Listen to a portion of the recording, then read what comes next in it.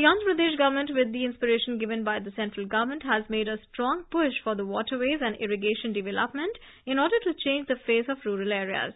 Several initiatives taken up by the government have started paying dividends in the state.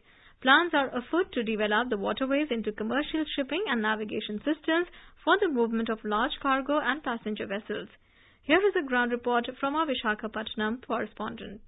As part of the ongoing process of linking of main rivers together, Godavari and Krishna rivers are being linked to cater the agricultural and industrial requirements of the concerned areas. Union Minister for Shipping and Waterways Nitin Gadkari in his recent visit to the city announced that the government attaches importance to the push for inland waterways. MT Raju, senior technical expert, said that once Godavari water comes to north coastal districts of Andhra Pradesh, waterways development will be more feasible. Importance of irrigation project is uh, considered by the government and the government is very keen in developing the area by constructing irrigation projects, which is giving more benefits to the state. The government is also planning to divert Godavari waters to the north coastal districts. From that also, we are planning to irrigate about 8 lakh acres. P. Swarnakumar, Deputy Engineer, Department of Irrigation, said that efforts are on to link Godavari and Krishna to the ongoing Polavaram project, which gives water to around 36,000 acres of agricultural land. main aim is to make state drought proof